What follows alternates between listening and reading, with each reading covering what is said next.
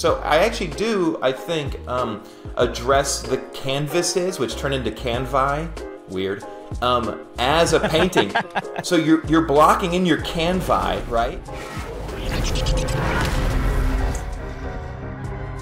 Justin Harder is a designer and illustrator based in Los Angeles who's been cranking out insanely good style frames for about two decades. He's worked on projects like Deadpool, Thor 2, Saturday Night Live. He's worked with huge brands and he is prolific. The dude cranks out designs at a pace that is hard to believe. In this interview, we talk about how Justin works so darn fast, his philosophy on how to design really good style frames, general career advice, and if you stick around until the end, we even dive into some of his boards to discuss specific challenges that they required him to solve, techniques, and more. Let's dive in. Justin Harder, it is awesome to have you on the podcast. Thank you so much, dude. Thank you for having me, Joey. Uh, this is totally rad to be on School of Motion. Wow!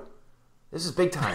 I know. I did tell you to hype it up right before. I was like, make sure you point out what an honor this is. So I appreciate it. It is an that. honor. I love talking yeah. about motion with people. This is ridiculous how cool this is. I'm really psyched. Okay, well, let me start with something that you told us when we did our little pre interview questionnaire. We asked you what was one of the best moves you've ever made, or what's some advice you'd give people. And I think what you said was that moving to Los Angeles to freelance was one of the best career moves you've ever made. And I'm curious why you say that. Well, I was working full time in Dallas at the time from 2000, right after graduation to about 2010, about seven years of full time work. And I think that anybody out there that has worked full time, you kind of feel when there's a ceiling at the place you're working at. And I, and I felt it, and I go, I've done what I wanted to do when I got out of school, which was to, to, to get paid to draw, get paid to design and then to work on the things that I saw on TV or in the movies. And in Dallas, we weren't we weren't landing the gigs that we wanted to land, to be honest. And I kept seeing this name pop up that would beat us, and it was Brand New School. Brand New School mm-hmm. wins again. Brand New School this. PSYOP this. You know the kind of the classic names around 2010, which are still pretty much the big hitters in the industry. But I saw the writing on the wall, and that was if you can't beat them, join them in a way. And I just felt the opportunities would be better out there. This was at a time uh, where I know it's kind of like far, like way removed from our memory, but when you used to go in house to freelance and say, Hi, I'm the guy. And then you could hang out and you can go to the water cooler and then you can pal around and waste too much time blabbing with people. And it was like, that was the time, but I knew I needed to do that in LA. So, yeah, and, and it was a big decision. It was if I had a wife and kids at the time, it would have been a, a, more difficult decision. But being just myself, we packed up the RV, and we being my dad and my little brother, and we drove west. And anyway, the first place I worked with in LA was Brand New School. So they always had a kind of a, a special soft spot for me. Now, you mentioned that, you know, back in those days, you, you worked in house. And so obviously moving to LA is necessary if you want to work in house in an LA studio. But now that, you know, essentially every company on earth, at the very least, has some sort of hybrid option, and a lot of studios have gone fully remote. Um, even some big ones now are, are, open to employees being completely across the country. Would you still give the same advice? Do you still think that it's important to go to a location where the work's happening? Or now, you know, look, we've got Zoom and we've got podcasts. Why do we need to be there in person? That's a tough one. What what are you what are your thoughts? I I feel like it still is very very helpful, but I don't think you'll get uh, as good as you want to get as quickly as you want to level up at home by yourself. Um, I know that like art school, even sometimes people go, "Should I go to art school?" I go, "Well, the reason I went to, I realize now going to art school is good for me is that you around peers that get you better. But if I was younger, I'd want to go in. I think I'd want to go in still because." It's just it's just was such a creative environment for for me at the studios that I did go into. You're right. There's something about being in person that you just cannot replicate, no matter how good Zoom gets. Right, like the, being right. in the same room with multiple people, especially when you're young, and this maybe is like your first, you know, foray into the the world of like a real adult job. It's hard to replace that with a fully remote thing. And I honestly do feel for younger artists who are, you know, graduating from art schools right now or, you know, they're just getting their first jobs and it's fully remote and they're working from home. in an apartment. That that doesn't seem ideal to me. So I would probably say if someone's really motivated and they have the means and they can get to LA, it's going to be it's also a lot easier to relate to the people you're reaching out to if you say, "Hey, I'm in LA and I'm a freelancer and I, you know, I just found this awesome taco place." It's just easier to build a rapport that way too. So even as a freelancer, I think it's easier if you're there geographically. Not necessary, but easier. You make it a lot easier for people just to say, "Come on in, swing on in. We'll give you a shot for this project." And then the mm-hmm. other thing I didn't I didn't I didn't mention was with people's nuances in person. And we're in a service industry in the commercial business. I know exactly when to just zip my mouth and give them what they need. And I might be like, well, this isn't, let's save it for the next one. Let's save it for the next one. If they're not going to go with it this time, let's save it for the next one. You got your concept pieces out of it. You've got great work to show out of it. Give them what they need. You, unless you go full fine art, dude, this is the business you're in. So you have to know exactly what business you're in. And I think in person, I'm a, I'm a, I'm a people person in that way. I, I like to ham it up. I like to feel though. I like to listen to creative directors. And back when I was full time, I would always, always listen to creative directors on the phone because, boy, they could be really PC. They could really know how to tell the client what we're going to do for how much money on what timeline and how you're going to get it. And it would just be these people talking, and I would just listen from, you know, with with my as I was drawing on my notepad or whatever. It, they, they wanted to have the artist in the meeting just so I could hear everything, which was great. I really respect that because now if I'm um, if I'm not in the meeting, if I'm working for a client and they come back and they just give me all the information, my, and when I say client, I mean like a studio, the elastics and the BNSs and all this stuff. They give me the download.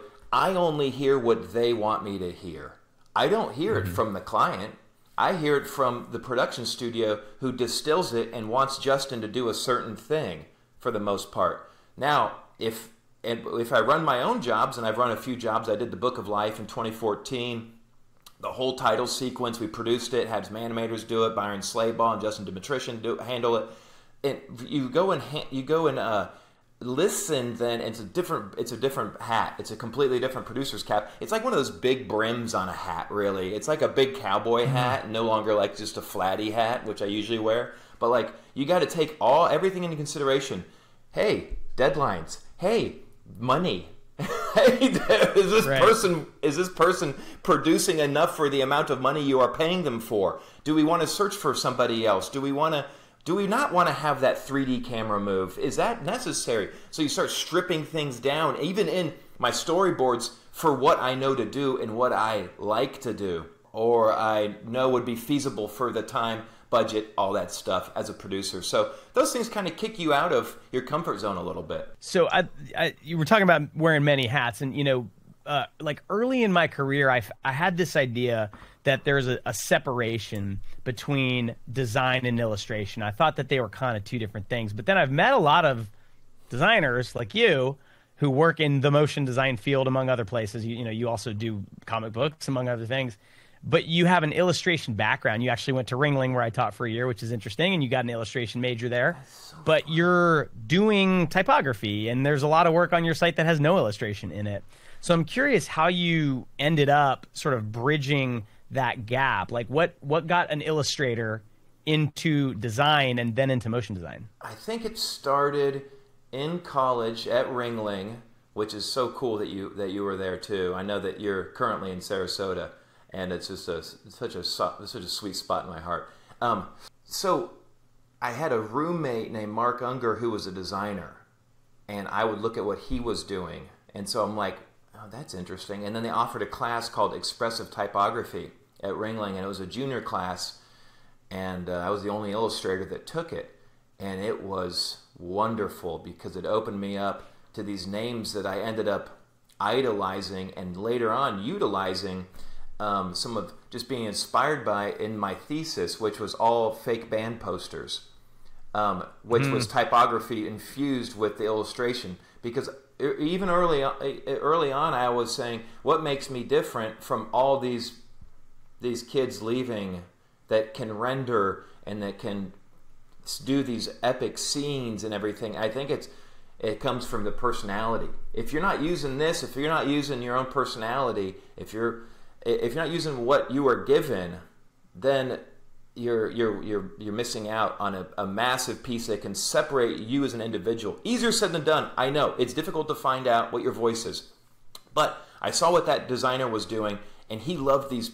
He loved movie posters, and he had a couple up. He had like the Ocean's Eleven mo- uh, poster up, which was sick, just like super silhouetted feet, and then the eleven coming down. I'm like, that's nice. That is really nice. This is something that I could really get into. So I think that infused, and then once I did the band posters, getting used to like laying out a variety of ways to these like fake bands. So you're creating your own concept for your fake band with your typography, with your hierarchy, with how you want to handwrite things. Or let's have one that looks more photoshoppy, let's have or collagey, and let's have one that looks all hand done and you scan in and da da da. Just a different time. Like motion design hadn't come out yet. This is 2003. Well, it was mm. out, and there were some big names, but I was like looking at it, going, I don't animate, which I know is a big aspect of what people think motion design is. Like we have to animate. You don't have to animate. You don't have to right. People ask me all the time, "Do you?" No, I don't do that. Do you do 3D? I don't do 3D. Don't need to do 3D either if you're not interested mm-hmm. in 3D. So there's things that might be preconceived notions of the motion design industry that people might not get into because they're scared of uh, of what they think might be uh, necessary for our profession. I would say if you want to do style frames uh, for a living, like I do, you got to know composition. That's that's it.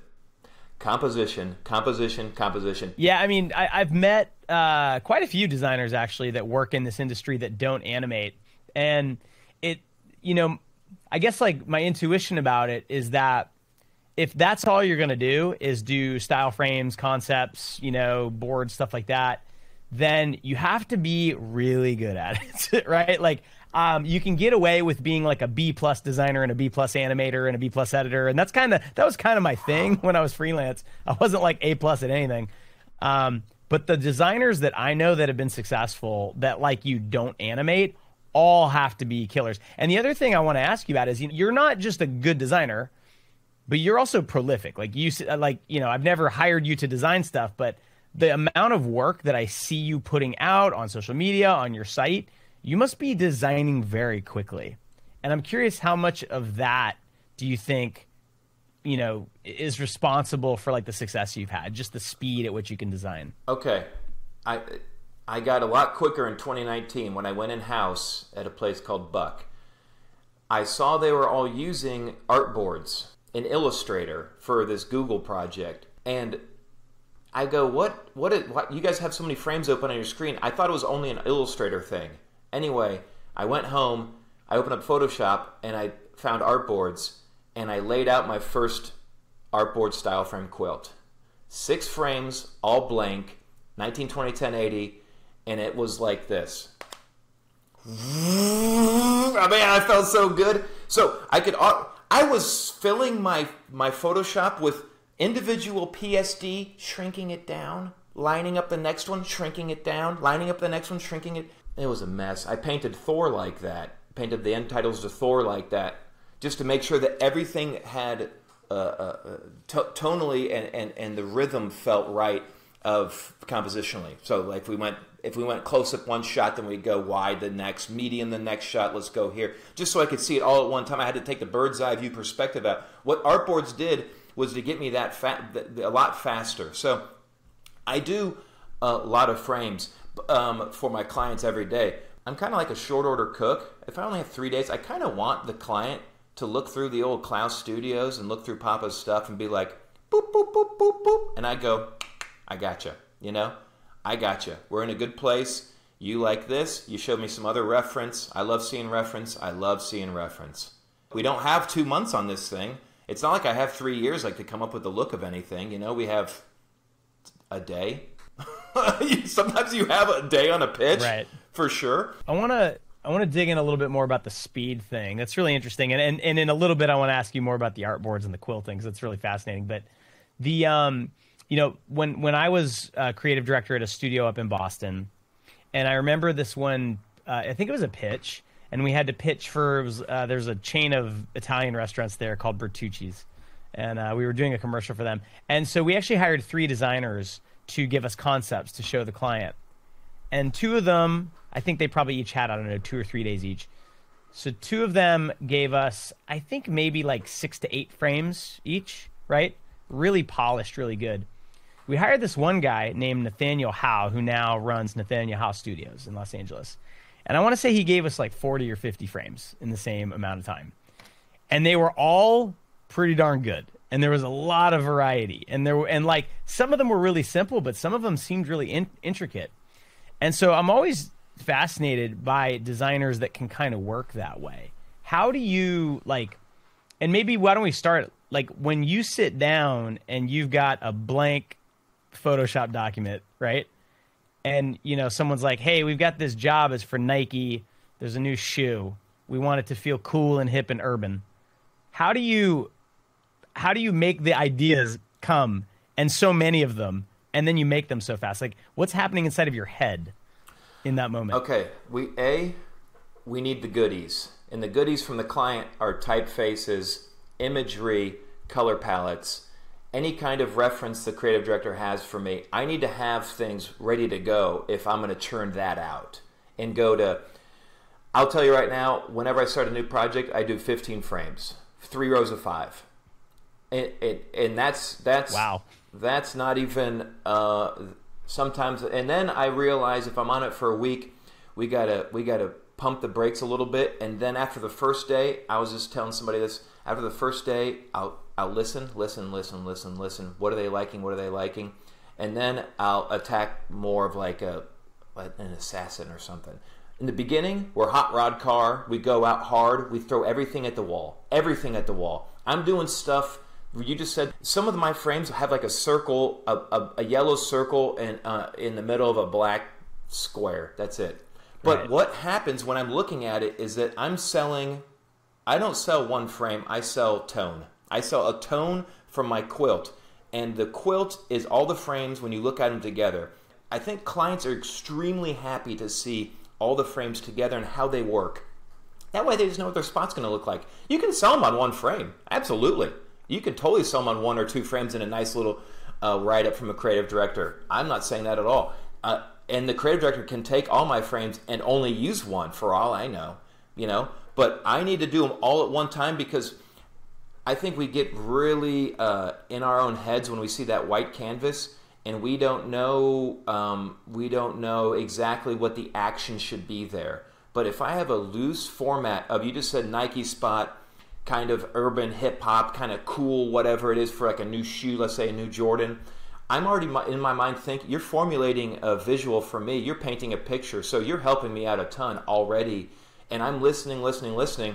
Then I go and hit the old Pinterest or something and go like, okay, okay. And then I get away from it. Then I, I, I look at Pinterest, I look at something online, look at a book or something like that, and then I then I then I close it down and I get into Justin's world, which is which would be how I then take that information and use it. Because if I'm looking at it too closely, of course, there will be moments from there where it's a little too close to any reference. So I put it down. I look at how we're figuring out typography with to- tonality, and I throw in type moments that maybe the client didn't even ask for. But it helps me define tone. So one frame might just be uh, coming soon, whatever it is, or let's say it's the Air Jordan 35, right? Maybe it's the XXIII or something. I'll take that XXXIII. If I know that it's going to have something like that, I can make six frames out of that. Literally just the, the Roman numerals. We're talking cropping, we're talking minimalism, we're talking rep- repetition, we're talking how it breaks out to the side. There's no amount of time. I mean, so that's why I like to get goodies from the client. If they have anything, I'm like, let me see what you have please i only i don't have much time. I need to see everything. Give it to me now. So i'll have that 15 frames and i'll be zoomed out to like 20% so i see all of them and i'll just take the colors and i'll just move swatches all around. So actually it starts out like a painting. So i actually do i think um, address the canvases which turn into canvi weird. Um, as a painting. So you're, you're blocking in your canvi right? And so there's like red, blue, yeah, white. Now we need black. Now we need yellow. Now we need black. Now we need white. So the whole already right off the bat, I'm like that has rhythm. It's not just all black background frames across the board. It's not all yellow frames across the board. We're already popping, popping, popping, popping, popping. So That's how I work in my mind, and and then you start breaking down from there. So it's like working from back to front, like a painter would block in shapes and colors, and then they would go in and put highlights at the end. So that's me putting on typography very last, and you just complete the frames, and you're like, boom! I think we have something. I think I'm getting excited. So you said something I want to I want to hit on. You said, I think you said something like I I sell tone, right? Mm-hmm. And it's interesting because like when I've had to design like a series of frames in the past, and I'm mostly an animator, I come at it thinking, what's the story I'm telling? And I'm storyboarding it as if it's a sequence of action that tells a story. I've never gone into it thinking, I just need to convey a tone. And when you said that, this light bulb kind of went off in my head, and I'm like, oh my God, that seems like a much simpler thing to start with, right?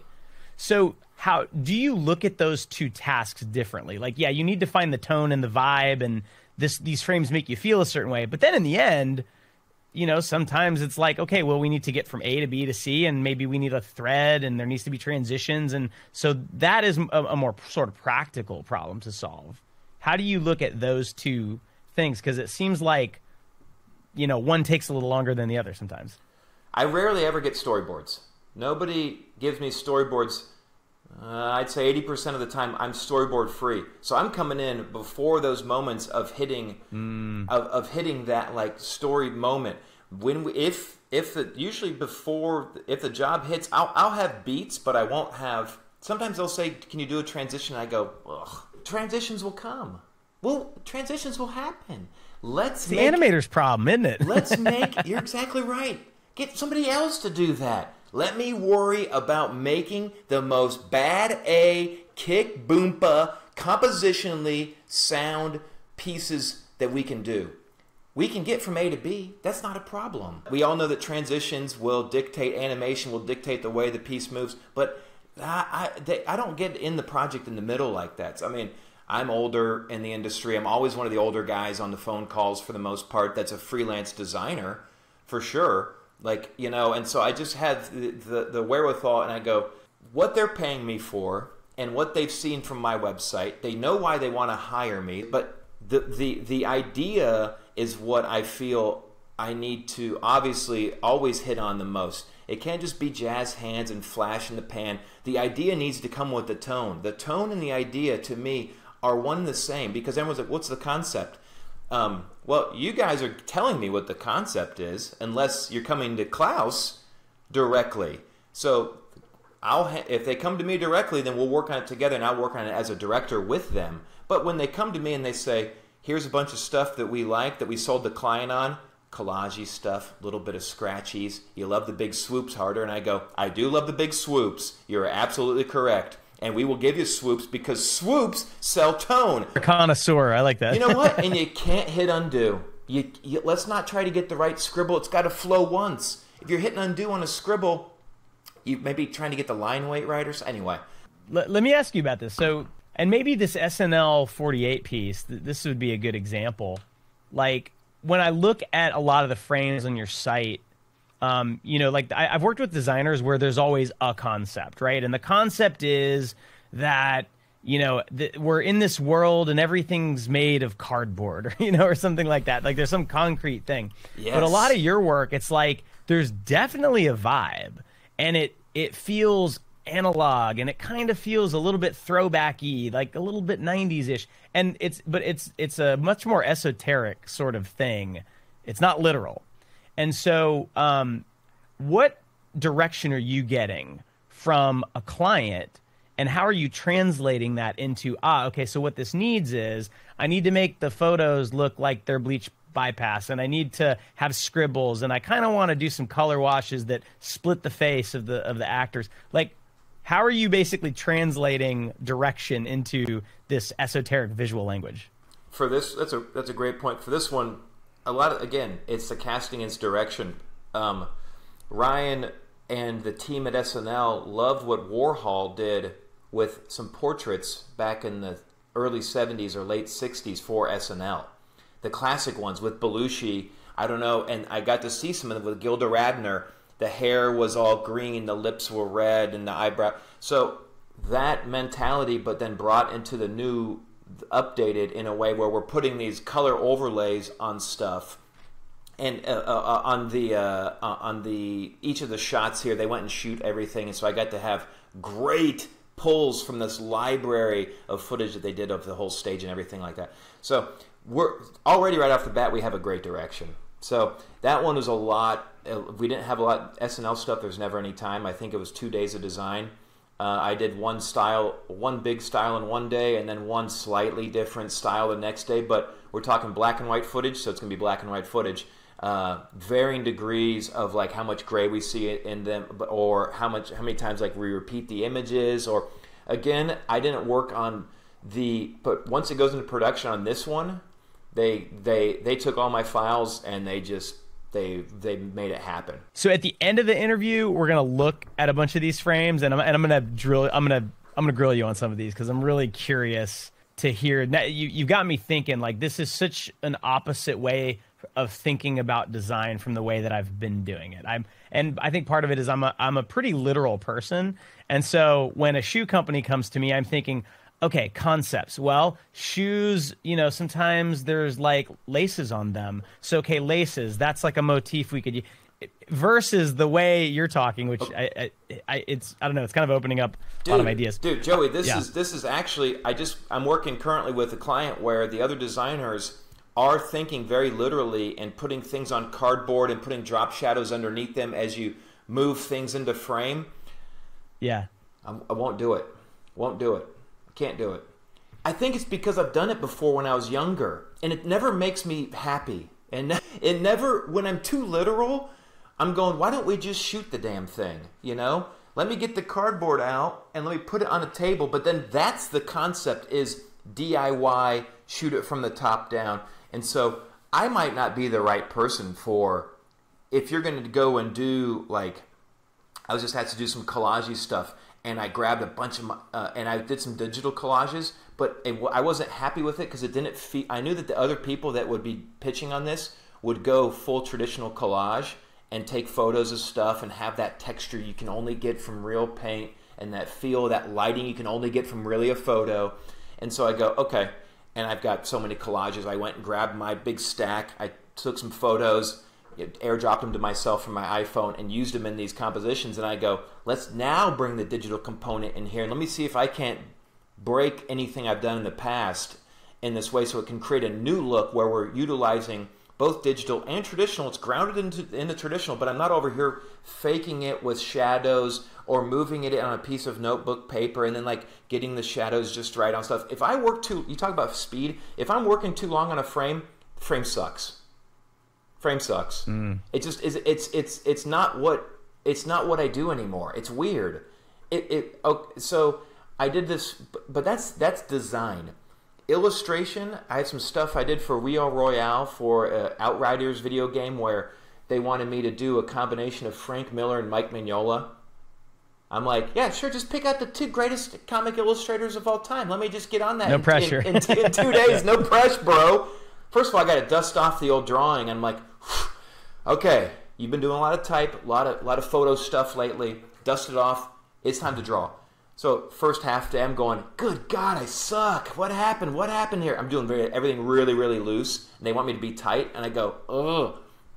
Anyway, those frames, there's a frame in my site here where that frame took me a good solid day, two days, maybe to draw, and it's big. It's like 4K 300 DPI. It's massive because the brush works so differently with different uh, different sizes, as everybody knows. It's mm-hmm. in Photoshop, and so I need to have my my canvas only one. Then there's no canvi, no artboards when I'm illustrating, right. none.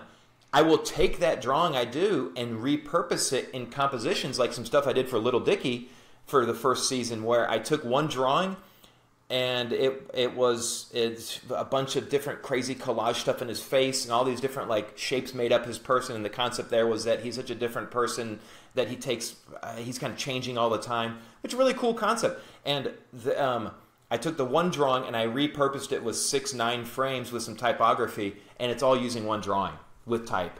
And then you take moments and you go with minimalism moments for the next frame. So if it's big close up on the drawing Next one's going to be typography to show the client how it can work across bumpers and things like that they might need to use.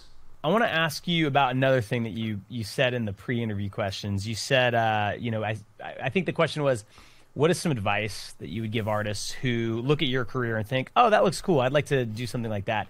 And you said, um, learn how to take criticism, which you know, it's it, it sounds obvious, but I'm curious what you meant by that.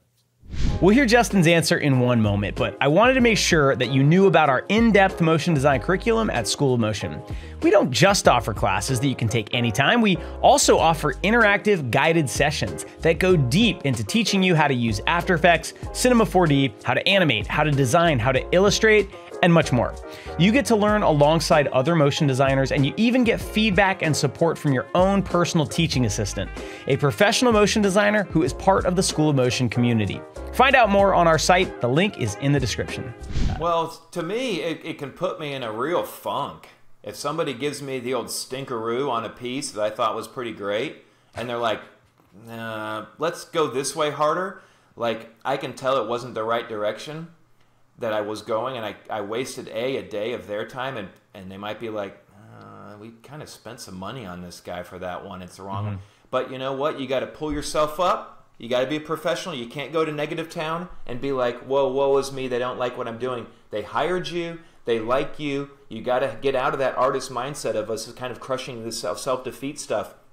You're good enough to be a pro. You're good enough to be hired. You, you are good enough. I'm telling you, you're right now. And so I get in that too. I'm like, oh man, just take it. You can take it. Get some thick skin. It's kind of, I might be some kind of like a macho thing or something like that, but it hurts. I mean, it hurts when somebody doesn't like your work. Yeah, I mean, really, it sounds like so. It's interesting. I was I was expecting you to talk about, you know, don't get angry when the client makes a comment that like makes the design worse and stuff like that. But really, it sounds like you're very competitive, which is which is cool to see. Um, but really, it's like you take this this is your professional art, right? Like I'm sure it would feel different if you were doing a piece just for yourself and some like something you want to hang on the wall and someone came over and critiqued that. Oh. But if you're doing boards for a client and they make a comment that you think objectively makes the design worse, it's their money, right? It is, and and what we can do as professionals is to hopefully bring the horse to water and hopefully make them drink. That's what you mm-hmm. hope. And so when they see certain decisions I can't explain it. I'm not going to sell you on it. But if you see it and it feels right to you, hopefully you'll go with it and you'll go along with us on that same ride of like, hey, we can crop typography. Hey, you know what? Maybe every frame doesn't need to be extremely legible. There might be uh, typography that's not there. You know, that's what in my tone that I sell. A lot of the times I won't just do um, I won't just do bumpers. You know, do the in between bumpers. Do like where the type goes in between those moments because that sells tone. That sells cool. I like mm. to I like to mm. really push cool and make it feel uh, of that of that something where they go, whoa, we didn't. We were just expecting to say now airing on on Peacock or something, right? But you have now like the the size of a whole screen, and you can only read the W and the O, and then the airing is like a different. Because I'm just having fun. It's just too fun. So, Justin, I want to ask you about one project I saw on your portfolio, which is the logo for an upcoming um, Blade. You know, I don't know if it's a movie or TV series. Marvel's doing it, and I thought, you know, in my mind, logo design that is the the world of the pentagrams, you know, and and that's what they do, and it's kind of a separate thing. So, how did you get that gig, and how do you look at logo design? Is it any different than what you normally do? Man, you, you're exactly right. It's an ad agency, big agency thing. Um, with that comes a big paycheck for those people that would do that. And what has happened in the industry is that trailer houses and production houses uh, that that focus on trailers will be getting an opportunity to, to pitch on a on a Marvel film, on a Disney film. And in that pitch, with their edit, they get the footage from Marvel and they are asked to put typography in there coming soon this summer.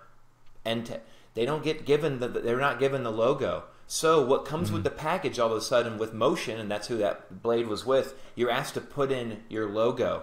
And so as a designer i don't i don't i didn't like it.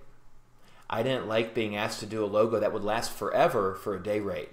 And so i i meant because i just didn't feel like it was very fair um, because I know what a logo would go for 50k, 100k, a lot of a lot of development goes into logos. You know that it is. It's so many cooks to please. You got to hit different demographics. Mm-hmm. Um, so I, I initially pulled back and I told Mocean that I wasn't comfortable doing it, but I would do other stuff for him, the style frames or whatever. And I know it might sound a, a little hypocritical because you're over here putting a lot of logos on different shows, but usually they some for the most part they had they give they give you the logo. Maybe not, I don't know. But I didn't like it for Marvel. They said it was an unnamed Marvel movie, and I go, okay, those make a lot of money, I think.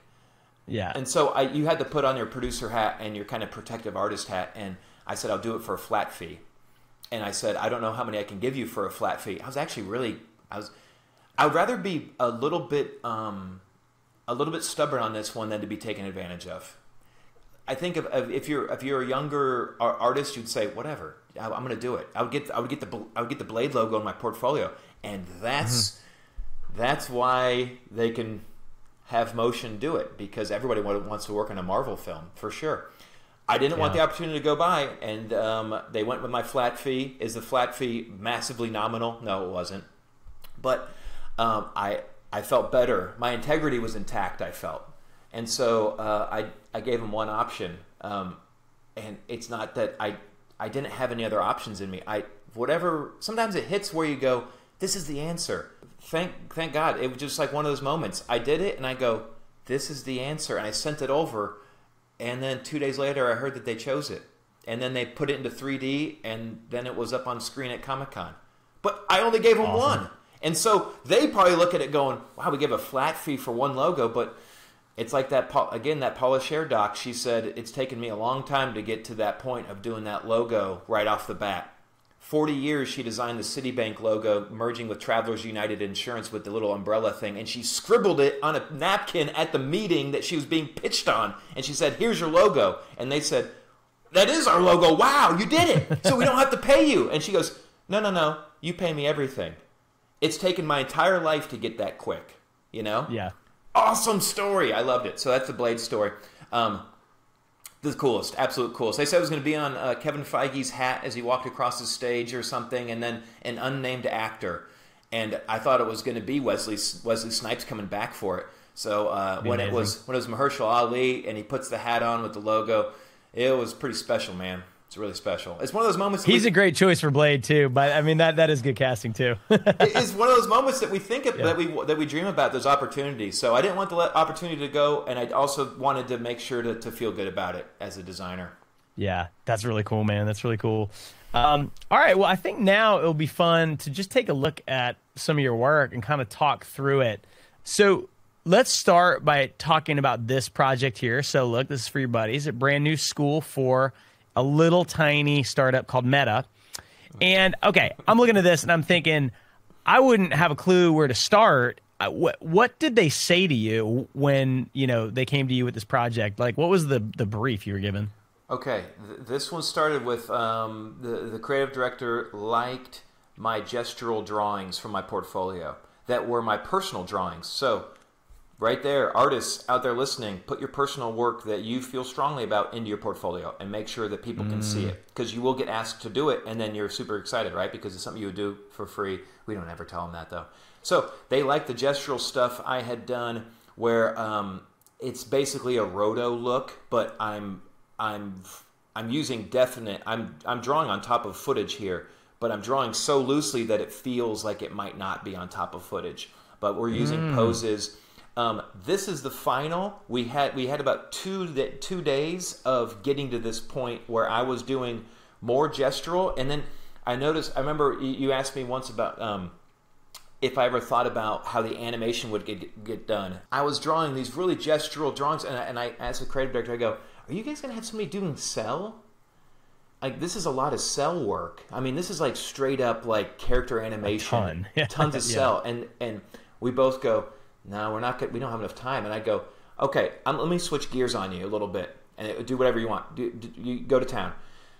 I grabbed footage of people dancing, and knowing that, I was like, maybe we can get footage, and I I could roto. So I I kind of just lied to you early on. I said that I don't animate.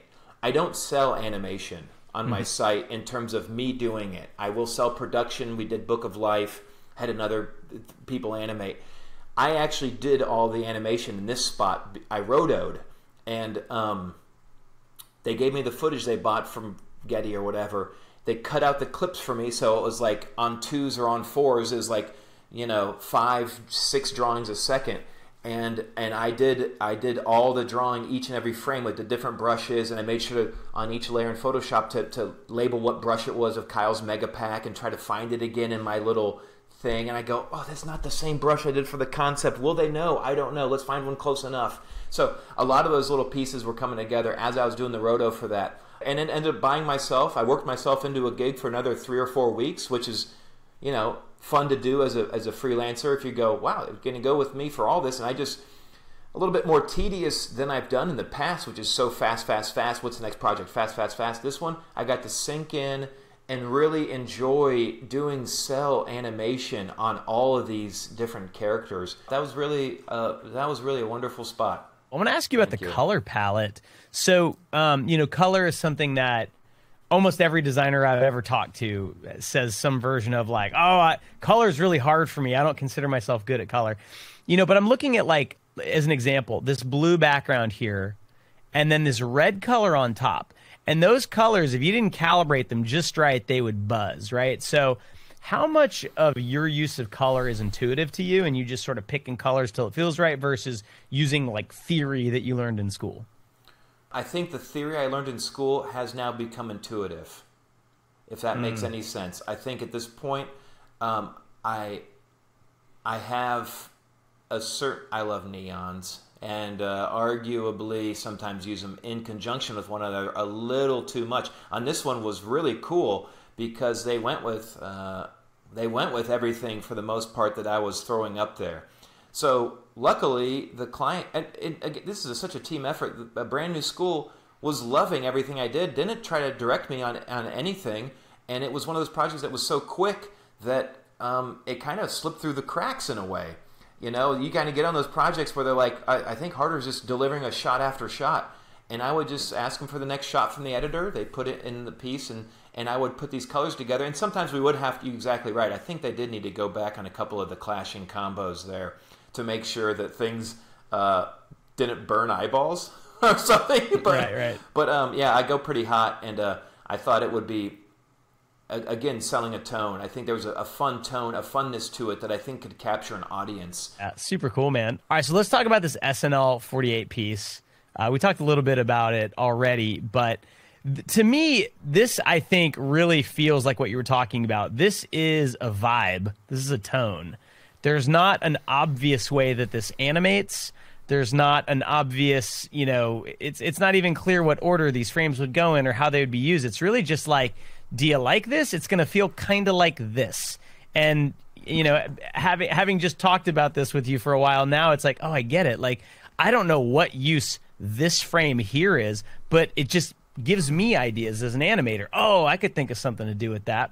So maybe just tell me the story of this project. Like what you know, you talked about it a little bit. They like these Andy Warhol paintings, but then what? Like when you open Photoshop, what do you start with? Like how do you get to this? Yeah, that's uh, so we knew that. Uh, yeah, no, some of the frames in there didn't get used, or bits and pieces did get used later on. But initially, you'd be like, "Where? How do we cut this?" It's funny because Ryan McNeely, that runs uh, Visual Creatures with with John Cranston, they uh, Ryan just goes, "We found people that can animate Justin. This guy can this guy this guy this gal knows how to animate your stuff." And I'm like, "Can you give them to me? I'm running a project. I need to have somebody that can animate like because I can't explain it. You're right. I don't know what to tell them.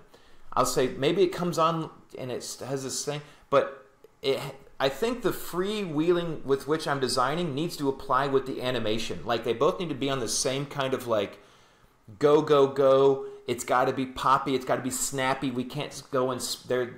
Let's not easy ease every single piece in here. But when I'm doing it, when I'm doing these frames, we knew that uh, Austin Butler was going to host the opening uh, episode, so we we grabbed some photos of him. I grabbed photos of him um, right off the bat, so we needed a title card with him. Um, we also knew that we're going to be doing this uh, hyperlapse, I believe that was called, where they did like the hyperlapse of the color on the color being used uh, over top, overlaid, screened, or whatever it was uh, on a hyperlapse shot of like into like zoom into um, the plaza there, or like Studio 8H, mm-hmm.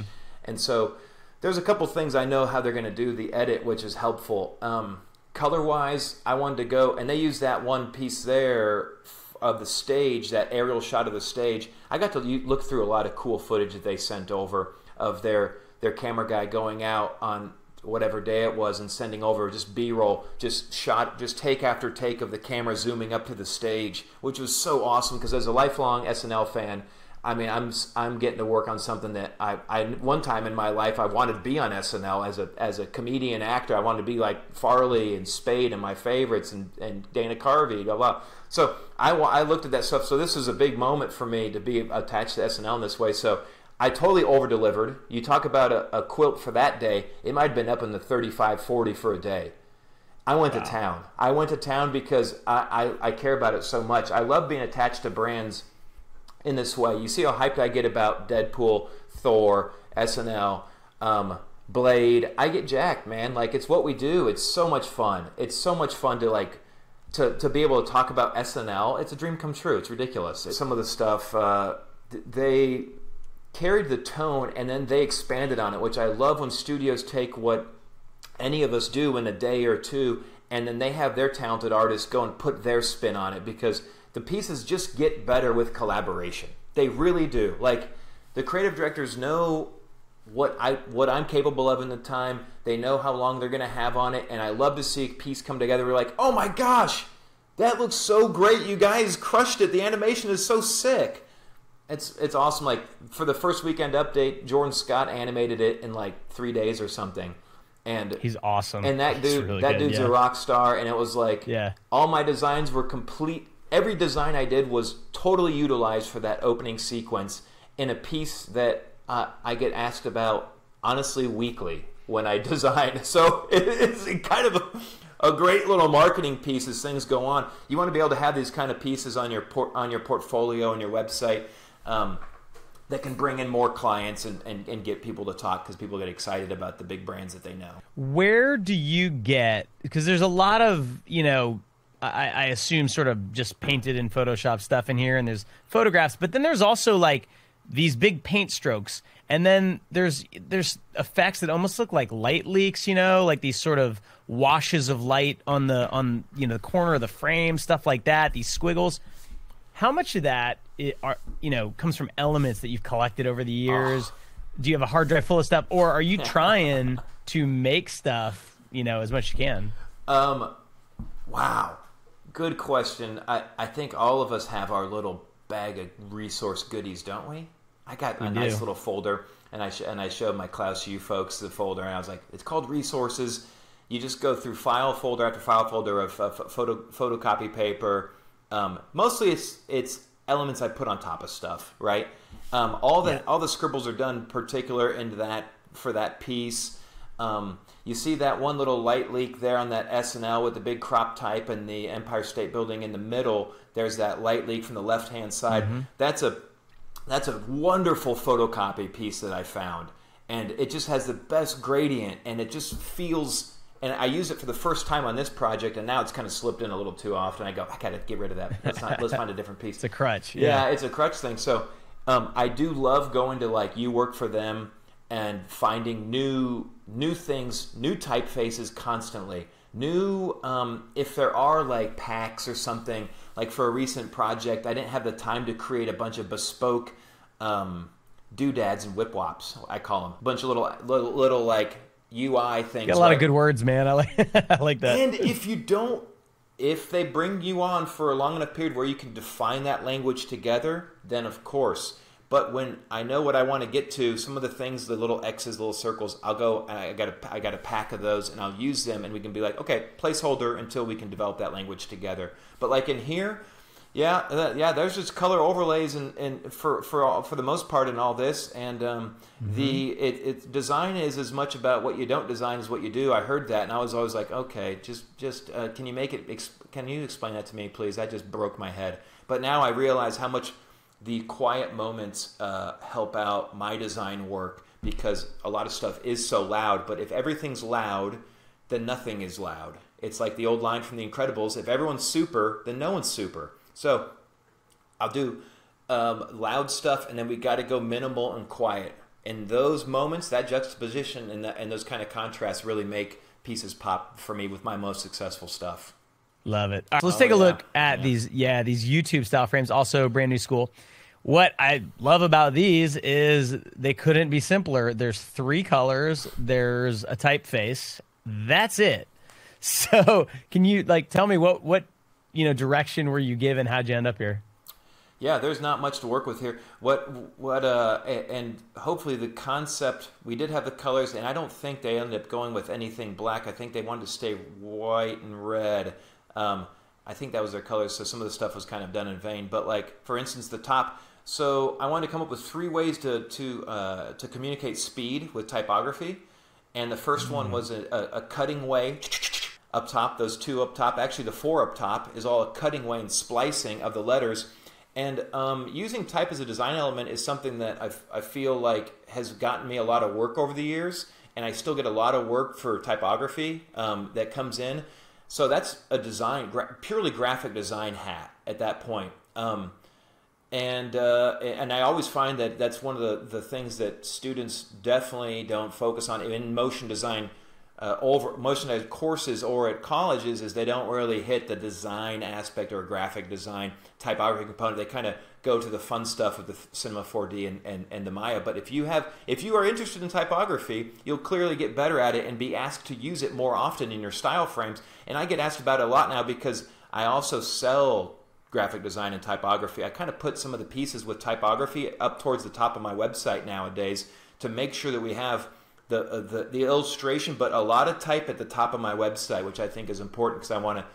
I love typography, and these ones. So then, um, so then the middle one is another concept with playing with speed, as well. This was all about how how fast the streaming was for YouTube TV, I believe, and unlimited. I felt with unlimited. Let's go to the stretchy thing, which has kind of been a little trite kind of getting towards the point of being overdone, but I thought I can take something that might be overdone and do my own spin on it where it would be new and fresh. And so, actually, conceptually, it made sense to me with unlimited being stretched, with more being stretched. I mean, it's not rocket science, but I feel like if you can connect and you can talk with about your idea for how the typography should look to your to your client, your studio, they'll be able to use that same vernacular. It actually might give them an idea to talk with their client with YouTube and say, listen, it's unlimited. It's more, let's go big with everything because that's how much encompassing your idea is. So you kind of put on different hats there. And, and, and I think they went with the splicing one at the very top, uh, but it was a little bit um, dialed, dialed back because uh, all this clearly is not really on brand for, you, for YouTube. Um, I've never let a brand book get in my way of making something that I want to make. They'll say, well, look at the brand guidelines. And we can look at it on day two or day three, but let day one be let day one be utilizing the person for why you hired them. Go to town. And sometimes you might not have the time or budget. And uh, I feel like maybe if we can get a little bit of column A, a little bit of column B, and meet in the middle, might be a fun place to be, a new place to be for the client. They might never, never knew that they wanted to go there. Um, you know, looking at these frames, I think you know doing stuff like this, this is such a great exercise if you're learning design. And the key to making it work, um, aside from you know like thinking in terms of like a series of frames, right? So you've got close-ups and wide shots and you know extreme wide shots, but composition seems to be what kind of makes or breaks a design like this, right? Um, that you know the typeface isn't some really cool looking thing by itself. You've got to you got to put the work into to make it work. So, do you have any composition tricks or strategies or philosophies that you use to do stuff like this. I think it's it's sometimes easier to focus on the composition when there's less in the frame.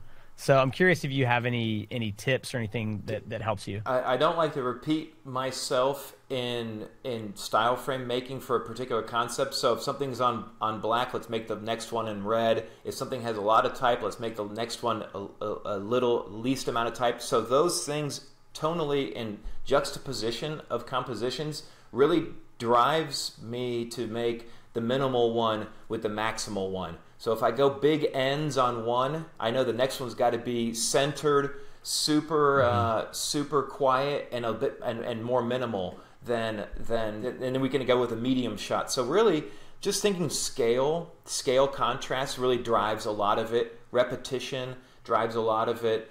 Because you, I, I don't. Sometimes I think the a lot of the work I've seen for my workshop and and younger designers they'll repeat themselves in frames. So if we're doing like a starring Matt Damon, it's going to be like almost a similar composition for starring Jessica Chastain, and then so the similar one like let's show them this is how we show them this is how we show them. And it's like the same exact frame over five or six frames. You already showed me how we did it once, so we have that already in the pocket. Let's go and show me something different so that that might be uh, another way to talk with the director about how we can apply type or image scale and contrast. So none of these really are repeated. If we unlimited stretched at the bottom, all those letters were very nice to stretch vertically, by the way. Um, there's no there was no s's in there which might have gotten a little bit tricky to stretch that top Yeah. but um you notice how i didn't stretch the top of the r the r i only stretch the bottom Wouldn't work. so yeah. you do like little little but i knew if we did unlimited stretching vertically we, we got that one covered let's let's do more that go horizontal let's repeat some let's get some smaller back in space and so each one of those four to me has a rhythm to the quilt um, in my own my own like world and way and, and and hopefully the client will go there too and think it was cool Awesome. All right. I wanted to ask you about this one because this one is very, very graphic designy. You know, like there's a grid to it. And a lot of the work that you do is very illustrative and it feels like free form and you can really kind of feel the human hand in there. But this is different. This feels uh, you know, it's it's very in a way Saul Bassey, and I see a grid there. So, uh, talk about this one. Like, what were you told by the client? Why did you choose this approach? You know, anything that you remember about this gig? really uh, and this one retained almost his exact same look but it it has a bit more uh, tactile quality in the final which which was really nice because uh, I think it needed it from these frames but uh, there was a piece in their reference they pulled that had very mid-century modern color palette and this is a classy show classy late late night show sorry about that late night show um, where he talks about sports and he gives his very a distinct opinion on on sports and humor.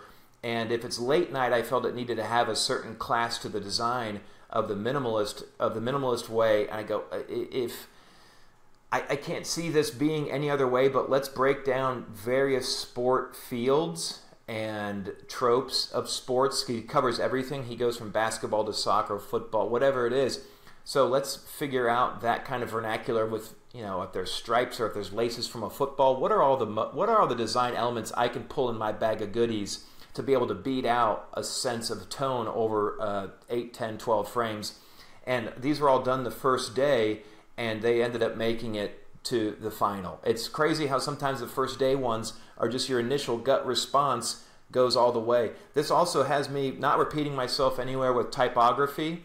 Um, I knew that Bomani loved Jordan shoes, and so I threw in the textures from Air Jordan 3s, which is that elephant cement skin on the top, and then the speckles from the Air Jordan 4s uh, down there, and the Bomani Jones at the bottom, um, the bottom middle one there. Um, so I'm Which one? utilizing This some one? This one here? yeah, th- those Oh, are, or this yeah, one. th- both. Yeah, that's that's the cement Yeah. texture or the rhino texture from the three four or the elephant skin that also is called. But anyway, uh, I'm I'm I'm really getting sneaker. Anyway, Bomani loved it. He's from Texas and I'm from Texas, and he goes. He goes, man, you're the coolest guy coming out of the woodlands or whatever. He's from really close to where I grew up in the woodlands. It was, uh, it was pretty funny.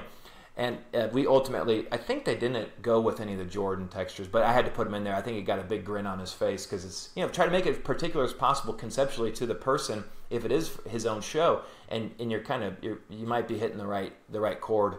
Um, again, not, not repeating any typography. If we went with, uh, game theory vertical on one side with Bomani Jones in one way. Let's not do that for the next one. Let's crop the typography to show an animator how it could possibly move. And the animator took this and, and just did wonders with it. So if I find that I can't really uh, prescribe animation to an animator, I always I always love when an animator takes my stuff and does their thing because they're pros. They're awesome. I, I, I couldn't possibly in a million years try to tell somebody how to animate some of the stuff I've seen them do with my stuff. I really love when somebody is so talented and so excited about animation, they just crush it.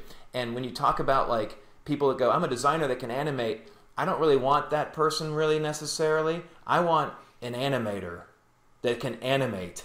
You know, sometimes you go, well, I can do this, but I can also do this. Well, let's see what the real looks like because I can animate, but you don't want me animating.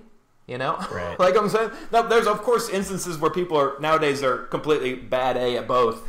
Um, but you got to find that person that really has such a desire to animate motion design and also animate typography and animate the way this moves, which is two different things. I think I, have probably said this a million times by now on this podcast, but you know, one of the the things that always tripped me up was, and to this day still does, if I'm designing it as the animator, I'm already thinking ahead. Ooh, that adding that extra layer that's going to be kind of tricky to manage in After Effects and you know I, I, in a way I'm jealous of you. Like you're kind of freer to just design whatever you want because it's someone else's problem at the end of it. Yeah. You don't have to you know it's funny like you know looking looking at these these little details and the way that I might have animated this you know having things that are in a grid but you want the grid to expand and close and that can be kind of tricky to do. It's pretty easy to design though you know? Totally. I, am looking to make yeah. pieces that i would want to have on my wall if i was if i was printing stuff out you know? Like that one that one piece right there with the r and the y with the uh, home plate and the baseball and the basketball there. What, what the heck is even happening there? Are we going to have the type come in? Does it pop in? Do the things i don't know. I don't know. We we will let let somebody that really knows what to do put their spin on it. I want to kind of lob thump something up and have somebody dunk it. You know, like I'm the lob. I, feel like uh, uh, our job as concept folks is lobbing. I go, we're, we're, we're in this together. We're th- this might be me doing my thing early on, but we're in this together. Here, lob. Here, guys. T- am I right. am I anywhere near it? I'm throwing the I'm throwing all the stuff I have at the wall. The cannon is getting shot at the wall. Take it. They like it. Then we can hone in. You know, we can hone in laser focus on a particular direction. So I wanted to ask you about this one for DraftKings, Justin, because it's like, okay, so there's a vibe as an animator. I'm looking at this and I'm like, this looks unbelievably cool.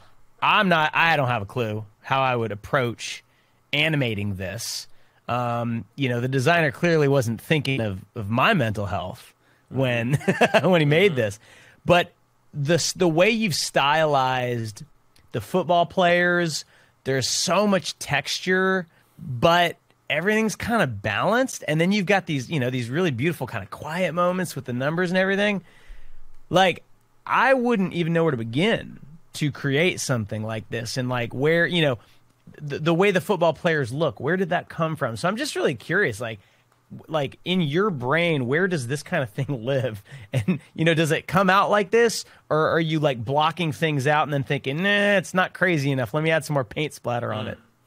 Yeah uh, uh, hopefully all of it is done in service to the concept which is gritty in your face um, football action kind of like the classic motion design uh, my take on the classic motion design type and, and image with a with a different kind of flair to it hopefully had a nice color palette. Usually, green and oranges don't really work the best together. Um, and that was fun to figure out and a nice challenge to figure out how those do live in the same frame together or what kind of percentages in each one. Again, starting with the artboard frame sequence, I think probably started with six, uh, three rows of six, so 18 to begin with on the day. Um, start filling it in with black and green backgrounds to start with. Gray backgrounds is another color in their in their branding campaign. They had a nice typeface. I feel like it was a really uh, universally accepted easy sans serif there, and they had a nice uh, italic form of it, and I thought that made sense with the movement of football. Um, mm-hmm. I I really just enjoy the heck out of uh, challenging myself to do something I hadn't seen before, and, and, and hopefully something that um, I hadn't well not that seen before, but I hadn't done before. And I think by cropping a lot of the typography here to look show stats and yardage, I feel like it kind of gave a sophistication to an otherwise spot that could maybe go too literal with some of the um, some of the copy. But those are copy points that they had in their script. Underdog, I know that I had to hit a moment there on the second day where we made him smaller to feel like he's smaller in the underdog world down there on that bottom one. Um, paint wise, yes, exactly. Some of those brushes I actually used in Thor: The Dark World, a name drop there, but I erased out of them in such a way that they've ne- that that I created new looking splatters and, and kind of grit. But I needed to have those accents and those moments to give it that that feel. Um, I like that frame a lot there in the middle. That's kind of fun. Knowing that we're probably not going to be able to use players, actually knowing we couldn't use players because of uh, NFL um, rights thing. Mm-hmm. So you have to blacken out for the concept just to show were they going to shoot it, were they going to use stills. I don't really know. I didn't. I wasn't privy to that aspect of it. That's but awesome. again, again, though, thinking about scale, scale of the football players all throughout here is different. There's not one that's mm-hmm. repeated the same size. If we do close up here on the football, then we're going to do a medium shot on the next one, or we're going to do a mm-hmm. tight frame that fills in the gaps, kind of things. But getting in there and actually adding highlights to the football players is using some of that illustration background you're talking about, kind of pulling different shadows and then just like replicating and duplicating and doing something, then that kind of offsetting it. So there's almost like a print technique to it, but not really like a digital print paint technique, but just kind of wanted to, to, to, to to knock you in the belly with it, and so that was a fun one. All right, dude, let's talk about the, these AMA boards here. So I have a bunch of questions. I mean, th- they remind me a little bit of the SNL ones. Um, you know, you've got like famous people photography. Love it. There's washes of color, um, but there's this weird, funky distortion and a lot of texture. It feels very glitchy. Um, so, what you know, I, I guess just kind of take me through this project, but specifically, what I'm interested in is like, how did you achieve these looks? You know, I mean, you're you're are, you really good at Photoshop? Like, is that how are you getting these effects? I'm I'm uh, I'm really not good at Photoshop, to be honest okay. with you.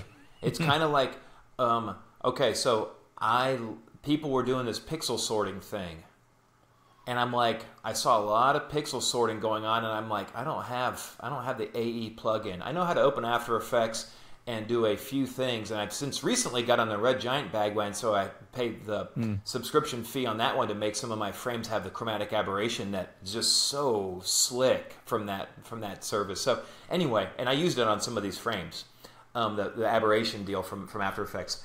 But I saw pixel sorting could be done in Photoshop, and I liked what it was doing. This like stylized wind thing that Photoshop mm. has some really goofy things and I like to access those to use tastefully. Same thing in Illustrator. There's some I do a lot of typography and I do it right there in the American Music Awards logo where I made that into a vector file and I brought it into Illustrator and I pulled that's not a warp that's not a warp tool that's a illustrator pulling all the points in Illustrator with some of these very strange skew and pucker and bloat and all these things right. that a lot of folks don't really go to, but I've really I've harnessed some interesting aspects of these programs that we're in every day, right? So, and always trying to find ways to do something different and, and make something new. So, uh, using the pixel sorting here on abstract paintings, which is the background there for that one, which is just me doing pink, blue, and some of those colors were their brand colors, but some were just some of my favorite colors to to use. And I wanted to almost do something. Uh, oh, this is the other thing I'll say if I have time to do uh, three concepts for my client, I'll do uh, mild, medium, spicy. So mm. first, first one I actually like to go and do spicy first sometimes, which is go completely nuts. Or inversely, I'll do that last, and I'll make sure to hit the mild one that they want. I'll do mild and maybe make sure to knock that out for them, and then the next day we'll get increasingly more and more kooky. Um, so that's kind of where it's at with with this one too. Um, I think that starting out with and, and the imagery, we had great looking celebrities, which anytime you put these people in your boards, it automatically makes them have such a air of authority. You put you put Childish Gambino in there, right? And like mm. and like Lizzo, it's like holy moly. So it's just pairing that then with a sophisticated typeface that uh, a sophisticated application of type, if their typeface is not the most uh, wonderfully unique one in the world. I, I don't really I love all I, I honestly when I get a typeface I, I just take it as a challenge to make it make it hot. Make it hot. You know? If it's a if it is what it is and there was a great typeface here so I wanted to make sure that they saw how to use it in various ways because as I've seen these programs in the past there's so many ways they cut between names and best album, and it's all over the screen, and it's cutting to a lower thirds, and it goes to a full screen. So I want to make sure to hit those moments where we have picture in picture. We make sure to get Lady Gaga on there, presented by the logos in there. Then let's do some close ups of faces. Again, abstract, abstract. I want to give my client something that feels like fine art, where it's like it's not your normal style frame. It's kind, it, it really comes from a different place, hopefully, and it comes from a place of doing abstract work in my spare time and hopefully that translates to my personal uh, to my professional work in such a way that clients call me for it which is awesome because all this got accepted. The one that we thought that wouldn't get chosen was the spicy concept and that got chosen and then later on it got a little bit more uh, mild or medium i think in the final package with some of the glitches staying in their glitch world. They, they wanted it glitchy to begin with but how do you do glitchy that's not standard glitchy. So I wanted to do like a tasteful new kind of glitchy. So I wanted to utilize the pixel sorting glitchy mixed with maybe larger abstract glitchy, like cubes and stuff and squares in that one. So yeah, that was a ball. That was a ball, man. That was a total blast. Dude, this one is so cool. I kind of, I just want to like stare at it. I, would love to see these Thanks. Photoshop files. Are They're your are your Photoshop files like a mess, or They're are you are you organizing them for animation no, like for production. not unless it gets unless it gets chosen and i need to send it to somebody i'll send it to somebody with a, a little bit more cleaned up. Um, mm-hmm. but for the most part it needs to be like a painting i'm doing on my, my table. I need to have a happy accidents. I really i need to turn on layers that were previously turned off that find me i mean it's really an exploration. It really truly is. And i love that exploratory. That's when i get the lean in moments i was kind of mentioning is when you get those and you go, okay, well, if we're going to use the type here in this one, let's not use it like that in the next one. Let's go here for the next one. You know, we have too much neon green here. Let's go dark. So contrast, contrast, contrast in, in the quilt is really how uh, a lot of these come to be. And I'm looking at some reference for how to apply type in a certain way. I love the repetition of some screen printers I was finding. Um, and uh, on that best album one in particular, I love those. Like, let's just have it have it repeated in the background like six, uh, whatever, nine times there with a big glitchy uh, happy accident of a of a, a, pixel sorted circle that I just randomly did to see what it would look like. And so you just knocked out a frame. So we're just already moving on to the next frame. We knocked one out. Let's move on to the next one. We just got let's go even more abstract with this one. Let's go and actually hit what the client wants with this one. Needs to say premieres this date. We totally know we got to hit that. Um, but when when you don't have a ton of time on it, I, would rather go blue. I'd rather go out there than than just give them exactly um, down the line backhand type of thing, you know? Thanks so much for checking out this episode. Make sure to look at Justin's work at clausstudios.com, and you can find all the show notes for this episode at schoolofmotion.com. Thank you so much for tuning in.